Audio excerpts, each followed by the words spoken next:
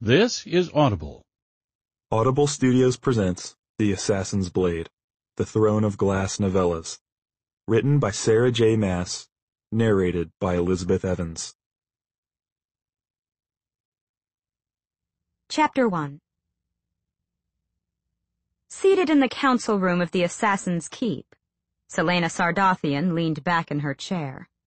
It's past four in the morning, she said adjusting the folds of her crimson silk dressing gown and crossing her bare legs beneath the wooden table. This had better be important. Perhaps if you hadn't been reading all night, you wouldn't be so exhausted, snapped the young man seated across from her. She ignored him and studied the four other people assembled in the underground chamber. All male, all far older than she, and all refusing to meet her stare. A chill that didn't have to do with the drafty room ran down her spine. Picking at her manicured nails, Celaena schooled her features into neutrality. The five assassins gathered at the long table, including herself, were five of Arobynn Hamel's seven most trusted companions. This meeting was undeniably important. She'd known that from the moment the serving girl pounded on her door insisting Celaena come downstairs and not even bother to get dressed. When Arobynn summoned you, you didn't keep him waiting. Thankfully, her sleepwear was as exquisite as her daytime wardrobe, and cost nearly as much. Still, being sixteen in a room with men made her keep an eye on the neckline of her robe. Her beauty was a weapon, one she kept honed, but it could also be a vulnerability. Arobynn Hamel, king of the assassins, lounged at the head of the table, his auburn hair shining in the light from the glass chandelier. His silver eyes met hers, and he frowned.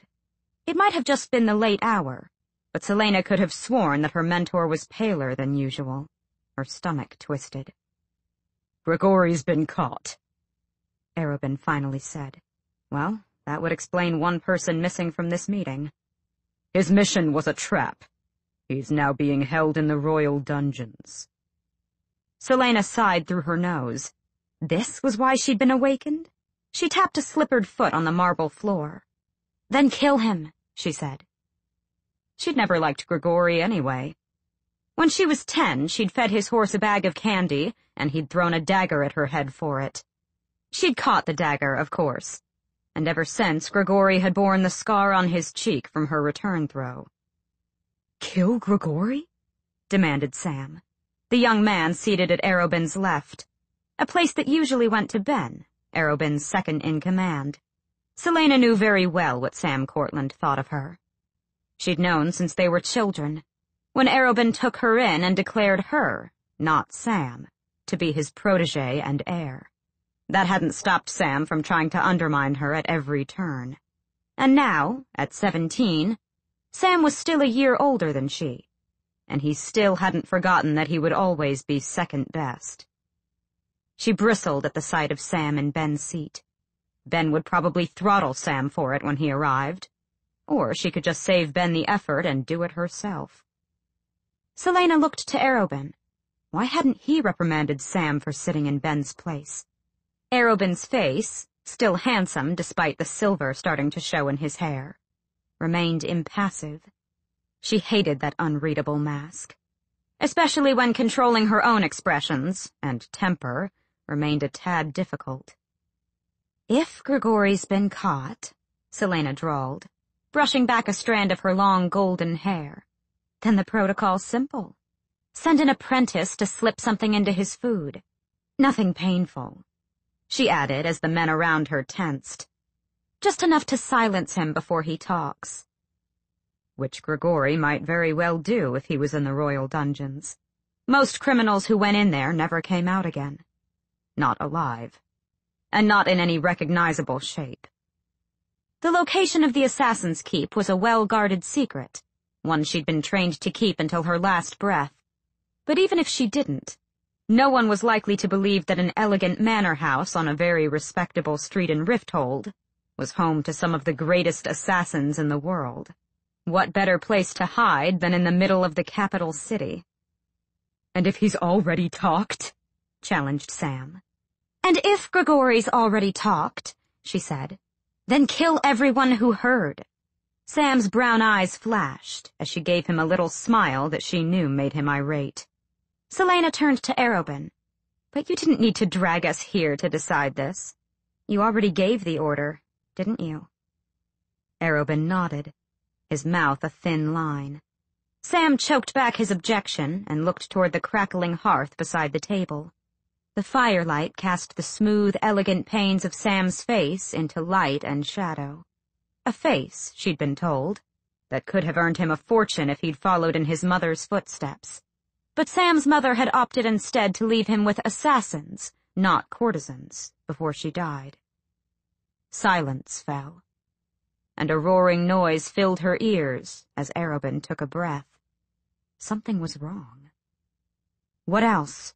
she asked, leaning forward. The other assassins focused on the table. Whatever had happened, they knew. Why hadn't Arobynn told her first? Arobynn's silver eyes became steel.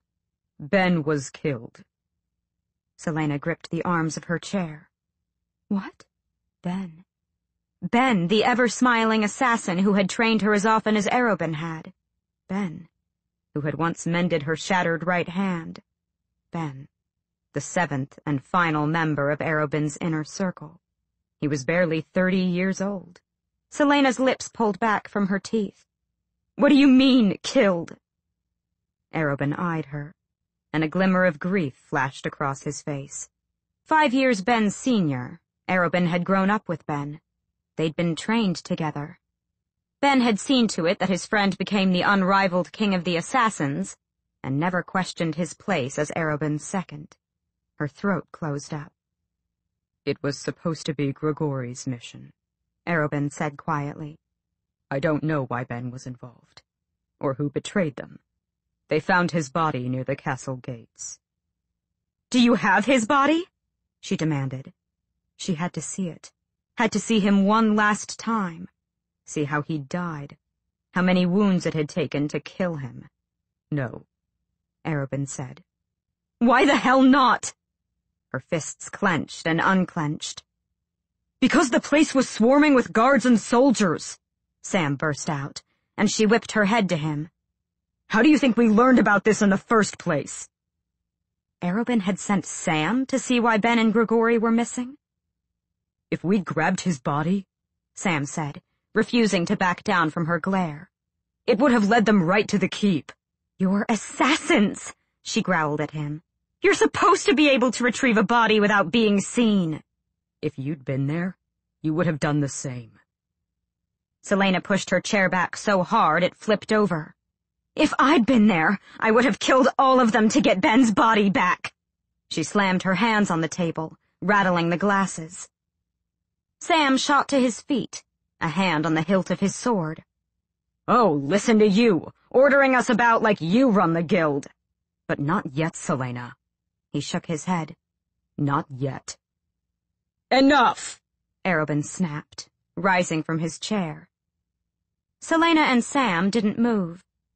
None of the other assassins spoke, though they gripped their various weapons. She'd seen firsthand what fights at the keep were like. The weapons were as much for the bearer's own safety as they were to prevent her and Sam from doing serious damage to each other. I said enough! If Sam took one step toward her, drew his sword a fraction of an inch, that concealed dagger in her robe would find itself a new home in his neck. Arobynn moved first, grabbing Sam's chin in one hand, forcing the young man to look at him. Check yourself, or I'll do it for you, boy, he murmured. You're a fool for picking a fight with her tonight. Celaena bit down on her reply. She could handle Sam tonight, or any other night for that matter. If it came down to a fight, she'd win. She always beat Sam. But Sam released the hilt of his sword. After a moment, Arobynn removed his grip on Sam's face, but didn't step away. Sam kept his gaze on the floor as he strode to the far side of the council room. Crossing his arms, he leaned against the stone wall. She could still reach him. One flick of her wrist and his throat would spout blood. Celaena, Arobynn said. His voice echoing in the silent room. Enough blood had been spilled tonight. They didn't need another dead assassin. Ben. Ben was dead and gone. And she'd never again run into him in the halls of the keep. He'd never set her injuries with his cool, deft hands. Never coax a laugh from her with a joke or a lewd anecdote. Celaena, Arobynn warned again. I'm done, Celaena snapped. She rolled her neck, running a hand through her hair.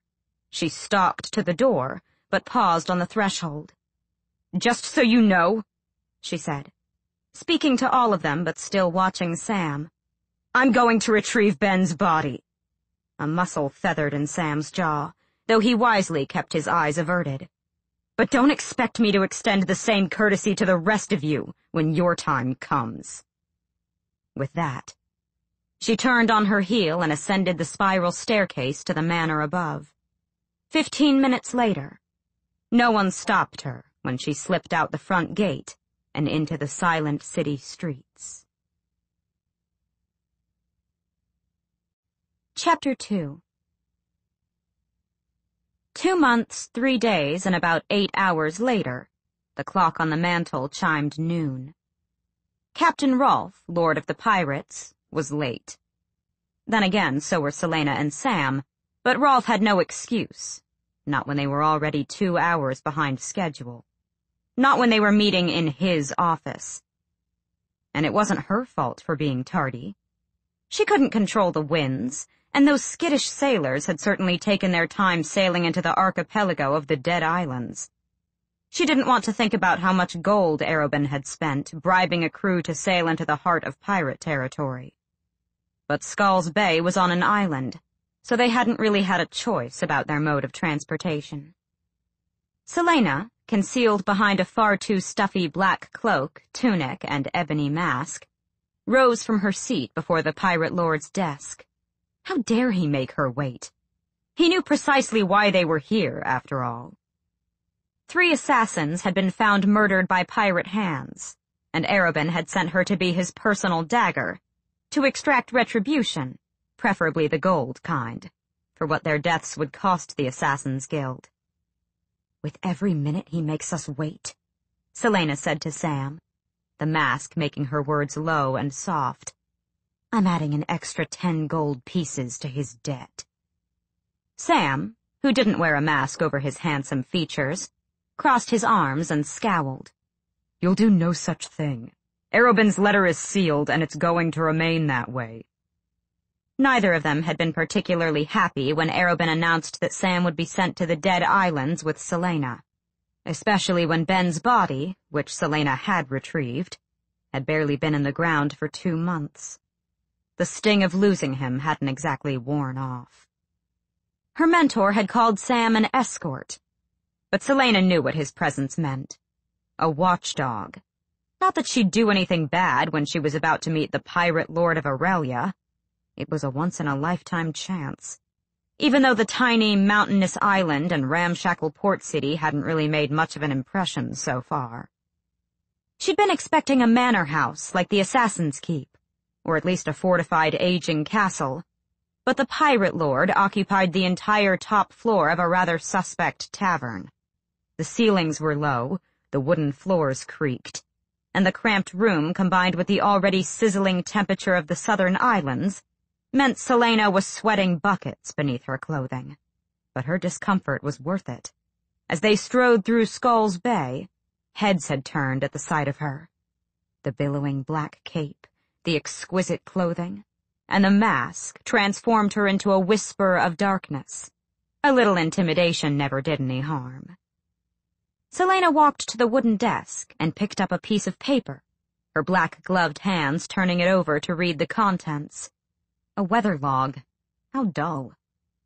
What are you doing? Celaena lifted another piece of paper.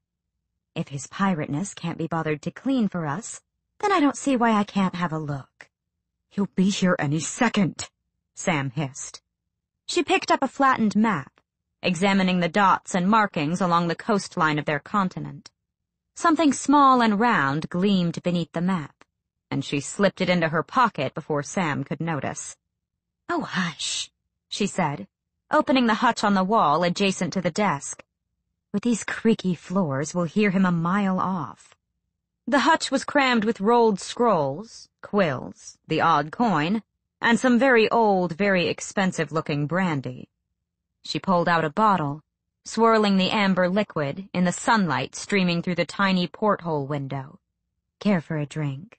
No, Sam snapped, half twisting in his seat to watch the door.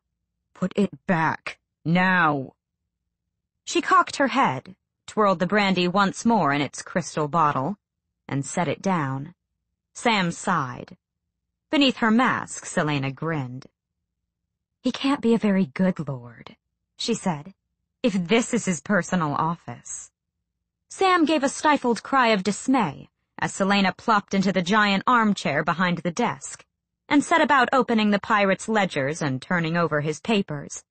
His handwriting was cramped and near illegible. His signature nothing more than a few loops and jagged peaks. She didn't know what she was looking for, exactly. Her brows rose a bit at the sight of a piece of purple, perfumed paper, signed by someone named Jacqueline. She leaned back in the chair, propping her feet on the desk, and read it. Damn it, Celaena! She raised her brows, but realized he couldn't see. The mask and clothes were a necessary precaution, one that made it far easier to protect her identity. In fact, all of Arobynn's assassins had been sworn to secrecy about who she was, under the threat of endless torture and eventual death. Celaena huffed, though her breath only made the interior of the insufferable mask hotter. All that the world knew about Celaena Sardothien, Adarlan's assassin, was that she was female, and she wanted to keep it that way. How else would she be able to stroll the broad avenues of Rifthold, or infiltrate grand parties by posing as foreign nobility? And while she wished that Rolfe could have the chance to admire her lovely face, she had to admit that the disguise also made her rather imposing, especially when the mask warped her voice into a growling rasp. Get back in your seat. Sam reached for a sword that wasn't there. The guards at the entrance to the inn had taken their weapons. Of course, none of them had realized that Sam and Celaena were weapons themselves. They could kill Rolfe just as easily with their bare hands. Or you'll fight me. She tossed the love letter onto the desk. Somehow, I don't think that'd make a favorable impression on our new acquaintances. She crossed her arms behind her head gazing at the turquoise sea visible between the dilapidated buildings that made up Skulls Bay. Sam half rose from his chair. Just get back in your seat. I've spent the past ten days at sea. Why should I sit in that uncomfortable chair when this one's far more suited to my tastes? Sam let out a growl. Before he could speak, the door opened. Sam froze but Celaena only inclined her head in greeting as Captain Rolfe, Lord of the Pirates, entered his office. I'm glad to see you've made yourself at home. The tall, dark-haired man shut the door behind him. Bold move, considering who was waiting in his office. Celaena remained where she sat. Well, he certainly wasn't what she'd expected. It wasn't every day that she was surprised, but she'd imagined him to be a bit dirtier, and far more flamboyant. Considering the tales she'd heard of Rolfe's wild adventures, she had trouble believing that this man, lean but not wiry, well-dressed but not overtly so, and probably in his late twenties, was the legendary pirate. Perhaps he, too, kept his identity a secret from his enemies. Sam stood, bowing his head slightly. Sam Cortland, he said by way of greeting. Rolfe extended a hand, and Celaena watched his tattooed palm and fingers as they clasped Sam's broad hand. The map. That was the mythic map that he'd sold his soul to have inked on his hands. The map of the world's oceans. The map that changed to show storms, foes, and treasure. I suppose you don't need an introduction. Rolfe turned to her. No. Celaena leaned back farther in his desk chair. I suppose I don't. Rolfe chuckled, a crooked smile spreading across his tanned face. He stepped to the hutch, giving her the chance to examine him further. Broad shoulders, head held high, a casual grace to his movements that came with knowing he had all the power here. He didn't have a sword either. Another bold move. Wise, too, given that they could easily use his weapons against him. Brandy? he asked. No, thank you, Sam said. Celaena felt Sam's eyes hard upon her, willing her to take her feet off Rolfe's desk. With that mask on, Rolfe mused, I don't think you could have a drink anyway. He poured brandy for himself and took a long sip. You must be boiling in all that clothing. Celaena lowered her feet to the ground as she ran her hands along the curved edge of his desk, stretching out her arms. I'm used to it. Rolfe drank again, watching her for a heartbeat over the rim of his glass. His eyes were a striking shade of sea green, as bright as the water just a few blocks away. Lowering the glass, he approached the end of the desk. I don't know how you handle things in the north, but down here, we like to know who we're speaking to. She cocked her head. As you said, I don't need an introduction. And as for the privilege of seeing my beautiful face, I'm afraid that's something few men receive. Rolfe's tattooed fingers tightened on the glass. Get out of my chair. Across the room, Sam tensed. Celaena examined the contents of Rolfe's desk again. She clicked her tongue, shaking her head. You really need to work on organizing this mess. She sensed the pirate grabbing for her shoulder and was on her feet before his fingers could graze the black wool of her cloak. He stood a good head taller than her. I wouldn't do that if I were you, she crooned. Rolfe's eyes gleamed with the challenge. You're in my city, and on my island. Only a hand's breadth separated them. You're not in any position to give me orders. Sam cleared his throat, but Celaena stared up into Rolfe's face. His eyes scanned the blackness beneath the hood of her cloak, the smooth black mask, the shadows that concealed any trace of her features. Celaena? Sam warned, clearing his throat again. Very well. She sighed loudly and stepped around Rolfe as if he were nothing but a piece of furniture in her way. She sank into the chair beside Sam, who flashed her a glare that burned enough to melt the entirety of the frozen wastes. She could feel Rolfe watching their every movement, but he merely adjusted the lapels of his midnight blue tunic before sitting down. Silence fell, interrupted only by the cry of gulls circling above the city, and the shouting of pirates calling to one another in the filthy streets. Well? Rolfe rested his forearms on the desk. Sam glanced at her. Her move. You know precisely why we're here, Celaena said. But perhaps all that brandy's gone to your head. Shall I refresh your memory? Rolfe gestured with his green, blue, and black hand for her to continue, as if he were a king on his throne listening to the complaints of the rabble. Ass. Three assassins from our guild were found dead in Belhaven. The one that got away told us they were attacked by pirates. She draped an arm along the back of her chair. Your pirates. And how did the survivor know they were my pirates? She shrugged. Perhaps it was the tattoos that gave them away. All of Rolfe's men had their wrists tattooed with an image of a multicolored hand. Rolfe opened a drawer in his desk, pulling out a piece of paper and reading the contents. He said, Once I caught wind that Arobynn Hamel might blame me, I had the shipyard master of Belhaven send me these records. It seems the incident occurred at three in the morning at the docks. This time Sam answered. That's correct. Rolfe set down the paper and lifted his eyes skyward. So, if it was three in the morning, and it took place at the docks, which have no street lamps, as I'm sure you know, she didn't. Then how did your assassins see all of their tattoos? Beneath her mask, Celaena scowled. Because it happened three weeks ago, during the full moon. Ah, but it's early spring. Even in Belhaven, nights are still cold. Unless my men were without coats, there was no way for- Enough! Celaena snapped. I suppose that piece of paper has ten different paltry excuses for your men. She grabbed the satchel from the floor and yanked out the two sealed documents. These are for you. She tossed them on the desk. From our master. A smile tugged on Rolfe's lips, but he pulled the documents to him, studying the seal. He held it up to the sunlight. I'm surprised it hasn't been tampered with. His eyes glimmered with mischief. Celaena could sense Sam's smugness oozing out of him. With two deft flicks of his wrist, Rolfe sliced open both envelopes with a letter knife she somehow hadn't spotted. How had she missed it? A fool's mistake.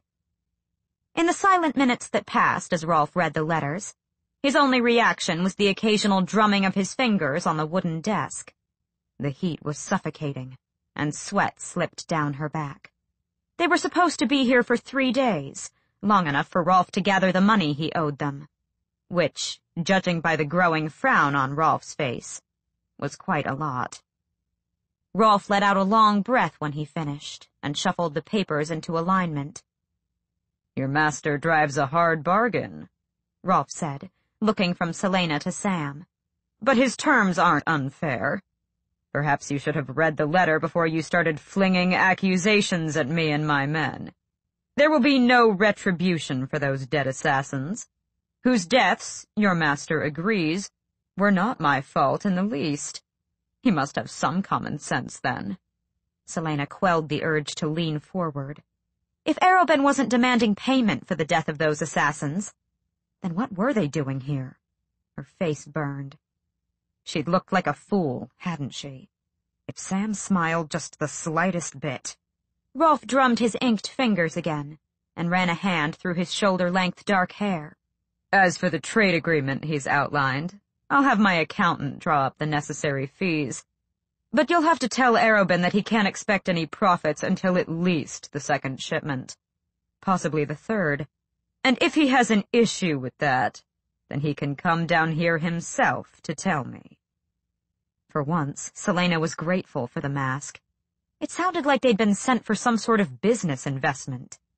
Sam nodded at Rolfe as if he knew exactly what the pirate lord was talking about. And when can we tell Arobynn to expect the first shipment? he asked. Rolfe stuffed Arobynn's letters into a desk drawer and locked it. The slaves will be here in two days, ready for your departure the day after. I'll even loan you my ship, so you can tell that trembling crew of yours they're free to return to Rifthold tonight, if it pleases them. Celaena stared at him. Arobynn had sent them here for... for slaves? How could he stoop so disgustingly low? And to tell her she was going to Skulls Bay for one thing, but to really send her here for this? She felt her nostrils flare. Sam had known about this deal. But he'd somehow forgotten to mention the truth behind their visit, even during the ten days they'd spent at sea. As soon as she got him alone, she'd make him regret it. But for now, she couldn't let Rolfe catch on to her ignorance. You'd better not botch this, Celaena warned the pirate lord. Arobynn won't be pleased if anything goes awry.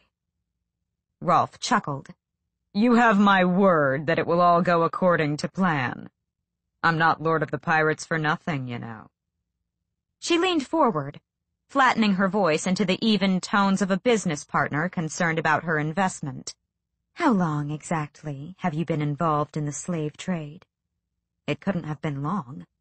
Adarlan had only started capturing and selling slaves two years ago, most of them prisoners of war from whatever territories dared rebel against their conquest.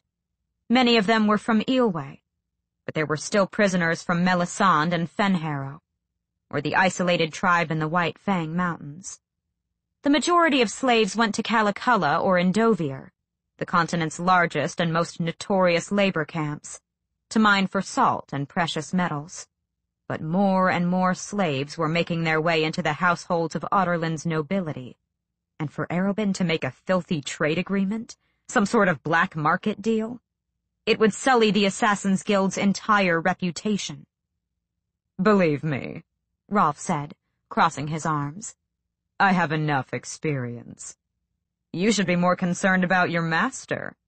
Investing in the slave trade is a guaranteed profit. But he might need to expend more of his resources than he'd like in order to keep our business from reaching the wrong ears. Her stomach turned over. But she feigned disinterest as best she could and said, Arobynn is a shrewd businessman. Whatever you can supply, he'll make the most of it. For his sake, I hope that's true. I don't want to risk my name for nothing. Rolfe stood, and Celaena and Sam rose with him. I'll have the documents signed and returned to you tomorrow. For now, he pointed toward the door. I have two rooms prepared for you. We only need one, she interrupted. Rolfe's eyebrows rose suggestively. Beneath her mask, her face burned, and Sam choked on a laugh. One room, two beds. Rolfe chuckled, striding to the door and opening it for them. As you wish. I'll have baths drawn for you as well. Celaena and Sam followed him out into the narrow, dark hallway. You could both use one, he added with a wink. It took all of her self-restraint to keep from punching him below the belt. Chapter 3 It took them five minutes to search the cramped room for any spy holes or signs of danger. Five minutes for them to lift the framed paintings on the wood-paneled walls, tap at the floorboards, seal the gap between the door and the floor, and cover the window with Sam's weather-worn black cloak. When she was certain that no one could either hear or see her, Celaena ripped off her hood, untied the mask, and whirled to face him. Sam, seated on his small bed, which seemed more like a cot, raised his palms to her. Before you bite my head off, he said, keeping his voice quiet just in case, let me say that I went into that meeting knowing as little as you. She glared at him, savoring the fresh air on her sticky, sweaty face. Oh, really? You're not the only one who can improvise. Sam kicked off his boots and hoisted himself farther onto the bed.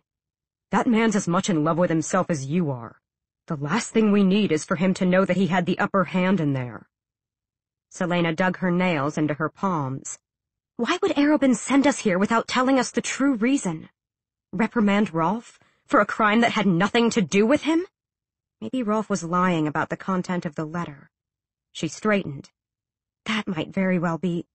He was not lying about the content of the letter, Celaena, Sam said. Why would he bother? He has more important things to do. She grumbled a slew of nasty words and paced, her black boots clunking against the uneven floorboards. Pirate lord indeed. This was the best room he could offer them? She was Adarlan's assassin, the right arm of Arobynn Hamel, not some backstreet harlot. Regardless, Arobynn has his reasons. Sam stretched out on his bed and closed his eyes. Slaves, she spat, dragging a hand through her braided hair. Her fingers caught in the plate. What business does Arobynn have getting involved in the slave trade? We're better than that. We don't need that money. Unless Arobynn was lying. Unless all of his extravagant spending was done with non-existent funds. She'd always assumed that his wealth was bottomless. He'd spent a king's fortune on her upbringing, on her wardrobe alone. Fur, silk, jewels, the weekly cost of just keeping herself looking beautiful. Of course, he'd always made it clear that she was to pay him back, and she'd been giving him a cut of her wages to do so, but... Maybe Arobynn wanted to increase what wealth he already had. If Ben were alive, he wouldn't have stood for it. Ben would have been as disgusted as she was. Being hired to kill corrupt government officials was one thing. But taking prisoners of war, brutalizing them until they stopped fighting back, and sentencing them to a lifetime of slavery? Sam opened an eye. Are you going to take a bath, or can I go first? She hurled her cloak at him. He caught it with a single hand and tossed it to the ground. She said, I'm going first. Of course you are. She shot him a dirty look and stormed into the bathroom, slamming the door behind her.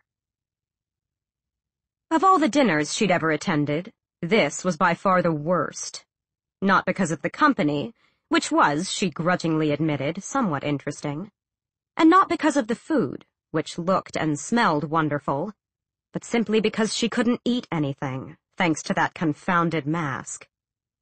Sam, of course, seemed to take second helpings of everything solely to mock her. Celaena, seated at Rolfe's left, half hoped the food was poisoned. Sam had only served himself from the array of meats and stews after watching Rolfe eat some himself, so the likelihood of that wish coming true was rather low. Mistress Sardothien, Rolfe said, his dark brows rising high on his forehead. You must be famished. Or is my food not pleasing enough for your refined palate? Beneath the cape, and the cloak, and the dark tunic, Celaena was not just famished, but also hot and tired. And thirsty, which, combined with her temper, usually turned out to be a lethal combination. Of course, they couldn't see any of that. I'm quite fine, she lied, swirling the water in her goblet. It lapped against the sides, taunting her with each rotation. Celaena stopped. Maybe if you took off your mask, you might have an easier time eating, Rolfe said, taking a bite of roasted duck. Unless what lies beneath it will make us lose our appetites. The five other pirates, all captains in Rolfe's fleet, sniggered. Keep talking like that? Celaena gripped the stem of her goblet. And I might give you a reason to wear a mask. Sam kicked her under the table, and she kicked him back, a deft blow to his shins, hard enough that he choked on his water. Some of the assembled captains stopped laughing, but Rolfe chuckled. She rested her gloved hand atop the stained dining table. The table was freckled with burns and deep gouges. It had clearly seen its fair share of brawls. Didn't Rolfe have any taste for luxury? Perhaps he wasn't so well off if he was resorting to the slave trade. But Arobynn... Arobynn was as rich as the king of Adarlan himself. Rolfe flicked his sea-green eyes to Sam, who was frowning yet again. Have you seen her without the mask? Sam, to her surprise, grimaced. Once. He gave her an all-too-believably wary look. And that was enough. Rolfe studied Sam for a heartbeat, then took another bite of his meat. Well, if you won't show me your face, then perhaps you'll indulge us with the tale of how, exactly, you became protege to Arobynn Hamel. I trained, she said dully, for years. We aren't all lucky enough to have a magic map inked on our hands. Some of us had to climb to the top. Rolfe stiffened, and the other pirates halted their eating. He stared at her long enough for Celaena to want to squirm, and then set down his fork. Sam leaned a bit closer to her, but she realized, only to see better as Rolfe laid both of his hands palm up on the table. Together, his hands formed a map of their continent, and only that. This map hasn't moved for eight years. His voice was a low growl. A chill went down her spine. Eight years. Exactly the time that had passed since the Fae had been banished and executed when Adarlan had conquered and enslaved the rest of the continent, and magic had disappeared. Don't think, Rolfe continued, withdrawing his hands, that I haven't had to claw and kill my way as much as you. If he was nearly thirty, then he'd probably done even more killing than she had. And from the many scars on his hands and face, it was easy to tell that he'd done a lot of clawing. Good to know we're kindred spirits she said. If Rolfe was already used to getting his hands dirty, then trading slaves wasn't a stretch. But he was a filthy pirate. They were Arobynn Hamel's assassins, educated, wealthy, refined. Slavery was beneath them. Rolfe gave her that crooked smile. Do you act like this because it's actually in your nature? Or is it just because you're afraid of dealing with people? I'm the world's greatest assassin, she lifted her chin. I'm not afraid of anyone. Really? Rolfe asked. Because I'm the world's greatest pirate and I'm afraid of a great number of people. That's how I've managed to stay alive for so long. She didn't deign to reply. Slave-mongering pig. He shook his head, smiling in exactly the same way she smirked at Sam when she wanted to piss him off. I'm surprised Arobynn hasn't made you check your arrogance, Rolfe said. Your companion seems to know when to keep his mouth shut. Sam coughed loudly and leaned forward. How did you become Pirate Lord, then? Rolfe ran a finger along a deep groove in the wooden table. I killed every pirate who was better than me. The three other captains, all older, all more weathered and far less attractive than him, huffed, but didn't refute it. Anyone arrogant enough to think they couldn't possibly lose to a young man with a patchwork crew and only one ship to his name. But they all fell, one by one. When you get a reputation like that, people tend to flock to you. Rolfe glanced between Celaena and Sam. You want my advice? He asked her. No. I'd watch your back around, Sam. You might be the best Sardothien, but there's always someone waiting for you to slip. Sam, the traitorous bastard, didn't hide his smirk. The other pirate captains chuckled. Celaena stared hard at Rolfe. Her stomach twisted with hunger. She'd eat later, swipe something from the tavern kitchens. You want my advice? He waved a hand, beckoning her to go on. Mind your own business. Rolfe gave her a lazy smile. I don't mind Rolfe. Sam mused later into the pitch darkness of their room. Celaena, who'd taken first watch, glared toward where his bed lay against the far wall. Of course you don't, she grumbled, relishing the free air on her face. Seated on her bed, she leaned against the wall and picked at the threads on the blanket. He told you to assassinate me. Sam chuckled. It is wise advice. She rolled up the sleeves of her tunic. Even at night, this rotten place was scorching hot. Perhaps it isn't a wise idea for you to go to sleep, then. Sam's mattress groaned as he turned over. Come on, you can't take a bit of teasing. Where my life is concerned? No. Sam snorted. Believe me, if I came home without you, Arobynn would skin me alive. Literally. If I'm going to kill you, Celaena, It'll be when I can actually get away with it. She scowled. I appreciate that. She fanned her sweating face with a hand. She'd sell her soul to a pack of demons for a cool breeze right now. But they had to keep the window covered. Unless she wanted some spying pair of eyes to discover what she looked like. Though, now that she thought about it, she'd love to see the look on Rolfe's face if he found out the truth. Most already knew that she was a young woman, but if he knew he was dealing with a 16-year-old, his pride might never recover. They'd only be here for three nights. They could both go without a little sleep if it meant keeping her identity and their lives safe. Celaena? Sam asked into the dark. Should I worry about going to sleep? She blinked, then laughed under her breath. At least Sam took her threats somewhat seriously. She wished she could say the same for Rolfe. No, she said. Not tonight. Some other night, then, he mumbled. Within minutes, he was out.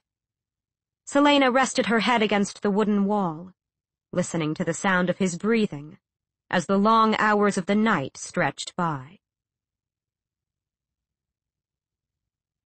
Chapter 4 Even when her turn to sleep came, Celaena lay awake. In the hours she'd spent watching over their room, one thought had become increasingly problematic. The slaves. Perhaps if Arobynn had sent someone else. Perhaps if it was just a business deal that she found out about later, when she was too busy to care. She might not have been so bothered by it. But to send her to retrieve a shipment of slaves? People who had done nothing wrong, only dared to fight for their freedom and the safety of their families. How could Arobynn expect her to do that? If Ben had been alive, she might have found an ally in him. Ben, despite his profession, was the most compassionate person she knew. His death left a vacancy that she didn't think could ever be filled. She sweated so much that her sheets became damp, and slept so little that when dawn came, she felt like she'd been trampled by a herd of wild horses from the Eyllwe grasslands. Sam finally nudged her, a none too gentle prodding with the pommel of his sword. He said, You look horrible. Deciding to let that set the tone for the day, Celaena got out of bed and promptly slammed the bathroom door. When she emerged a while later, as fresh as she could get using only the wash basin and her hands, she understood one thing with perfect clarity. There was no way, no way in any realm of hell, that she was going to bring those slaves to Rifthold. Rolfe could keep them for all she cared, but she wouldn't be the one to transport them to the capital city.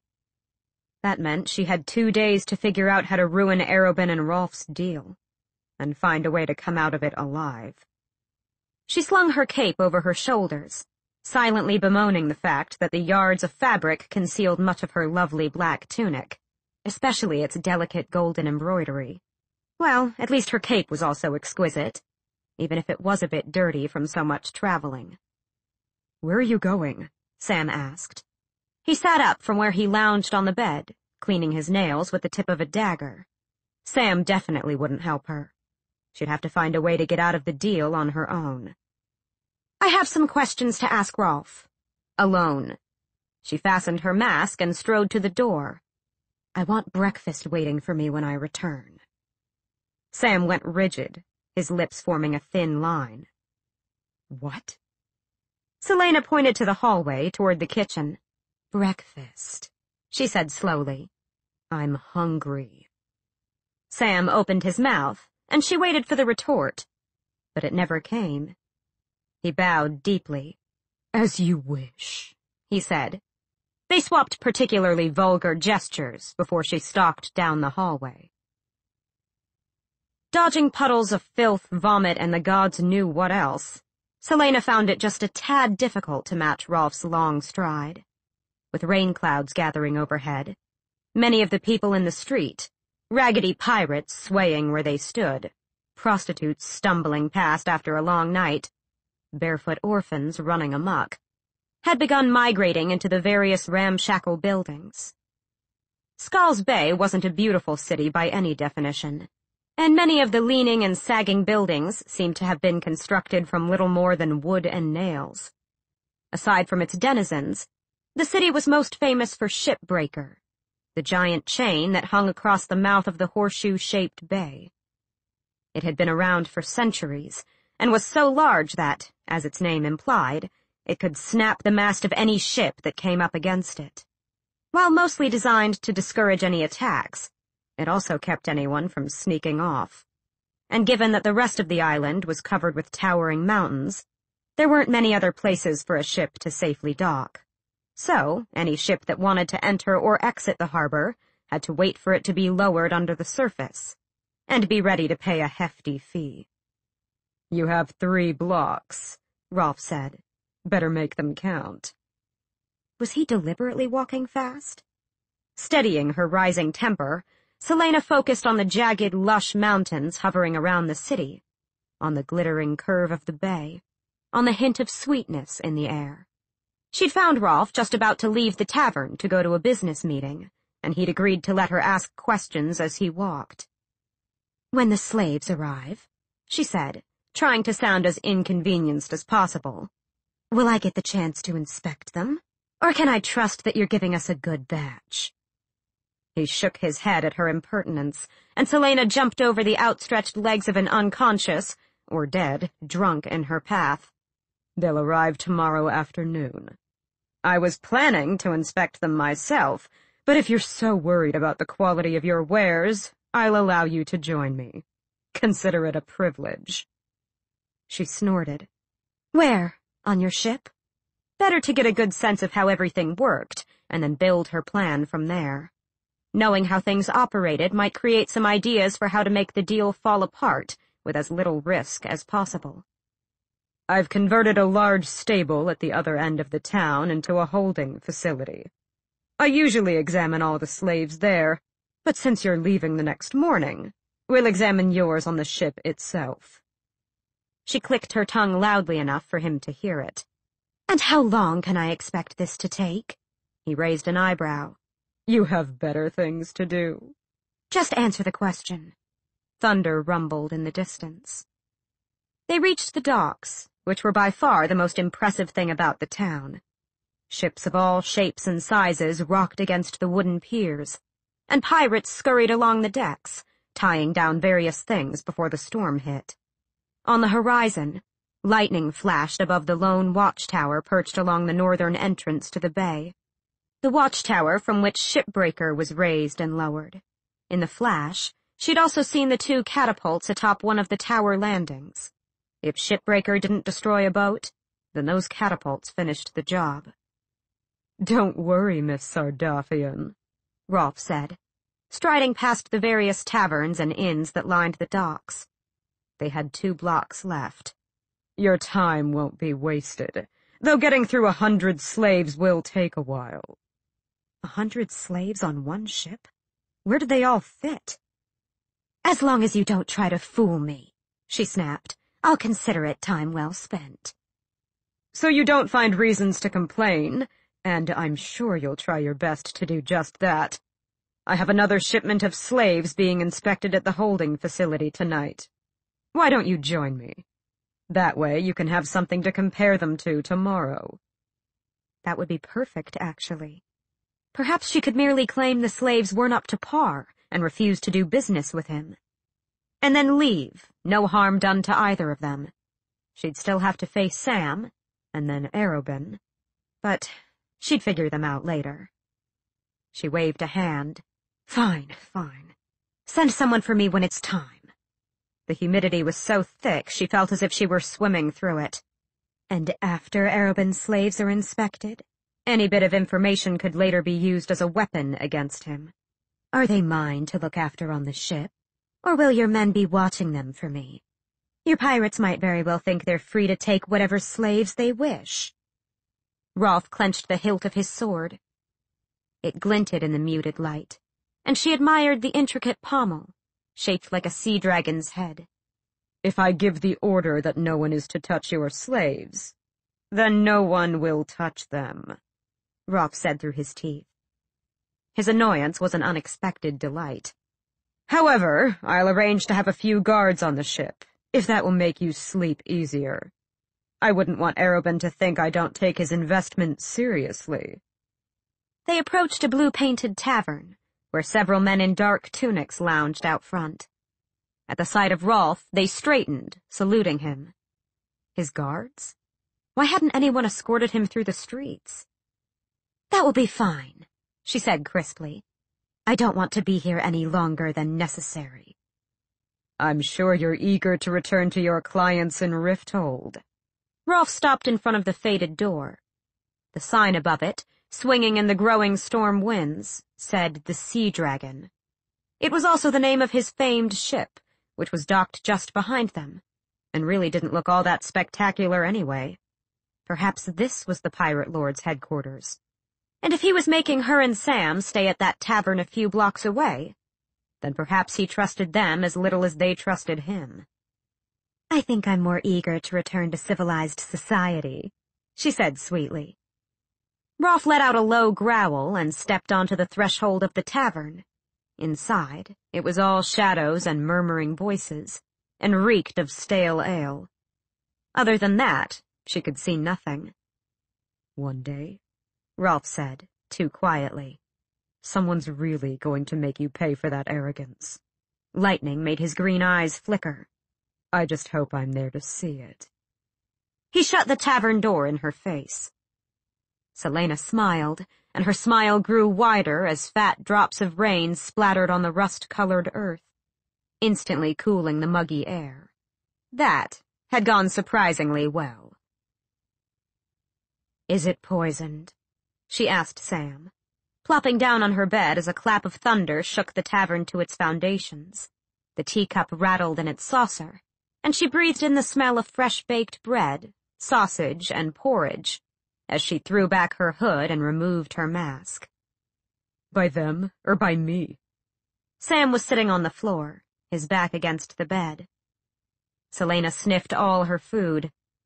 Do I detect belladonna? Sam gave her a flat stare, and Celaena smirked as she tore a bite from the bread. They sat in silence for a few minutes The only sounds the scrape of her utensils against the chipped plates, the drumming of the rain on the roof, and the occasional groan of a thunderhead breaking. So, Sam said, are you going to tell me what you're planning, or should I warn Rolfe to expect the worst? She sipped daintily at her tea. I don't have the faintest idea what you're talking about, Sam Cortland. What sort of questions did you ask him? She set down her teacup. Rain lashed the shutters, muffling the clink of her cup against the saucer. Polite ones. Oh? I didn't think you knew what polite meant. I can be polite when it pleases me. When it gets you what you want, you mean. So what is it you want from Rolfe? She studied her companion. He certainly didn't seem to have any qualms about the deal. While he might not trust Rolfe, it didn't bother him that a hundred innocent souls were about to be traded like cattle. I wanted to ask him more about the map on his hands. Damn it, Celaena! Sam slammed his fist onto the wooden floor. Tell me the truth.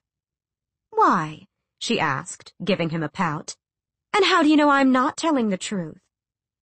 Sam got to his feet and began pacing the length of their small room. He undid the top button of his black tunic, revealing the skin beneath. Something about it felt strangely intimate, and Celaena found herself quickly looking away from him. We've grown up together. Sam stopped at the foot of her bed. You think I don't know how to tell when you're cooking up some scheme? What do you want from Rolfe? If she told him, he'd do everything in his power to prevent her from ruining the deal. And having one enemy was enough. With her plans still unformed, she had to keep Sam out of it. Besides, if worse came to worst, Rolfe might very well kill Sam for being involved. Or simply for knowing her. Maybe I'm just unable to resist how handsome he is, she said. Sam went rigid. He's twelve years older than you. So? He didn't think she was serious, did he? He gave her a look so scathing it could have turned her to ash, and he stalked to the window, ripping his cloak down. What are you doing? He flung open the wooden shutters to reveal a sky full of rain and forked lightning. I'm sick of suffocating. And if you're interested in Rolfe, he's bound to find out what you look like at some point, isn't he? So why bother slowly roasting to death? Shut the window. He only crossed his arms. Shut it she growled. When he made no move to close the window, she jumped to her feet, upsetting the tray of food on her mattress, and shoved him aside hard enough for him to take a step back. Keeping her head down, she shut the window and shutters and threw his cape over the whole thing. Idiot, she seethed. What's gotten into you? Sam stepped closer, his breath hot on her face. I'm tired of all the melodrama and nonsense that happens whenever you wear that ridiculous mask and cloak. And I'm even more tired of you ordering me around. So that's what this was about. Get used to it. She made to turn to her bed, but he grabbed her wrist. Whatever plan you're concocting, whatever bit of intrigue you're about to drag me into, just remember that you're not head of the Assassin's Guild yet. You still answer to Arobynn. She rolled her eyes, yanking her wrist out of his grasp. Touch me again, she said, striding to her bed and picking up the spilled food. And you'll lose that hand. Sam didn't speak to her after that. Chapter 5 Dinner with Sam was silent, and Rolfe appeared at eight to bring them both to the holding facility. Sam didn't even ask where they were going. He just played along, as if he'd known the whole time. The holding facility was an enormous wooden warehouse, and even from down the block, something about the place made Celaena's instinct scream at her to get away. The sharp reek of unwashed bodies didn't hit her until they stepped inside. Blinking against the brightness of the torches and crude chandeliers, it took her a few heartbeats to sort out what she was seeing. Rolfe, striding ahead of them, didn't falter as he passed cell after cell packed with slaves. Instead, he walked toward a large open space in the rear of the warehouse, where a nut-brown Eyllwe man stood before a cluster of four pirates. Beside her, Sam let out a breath, his face wan. If the smell wasn't bad enough, the people in the cells, clinging to the bars or cowering against the walls, or clutching their children. Children.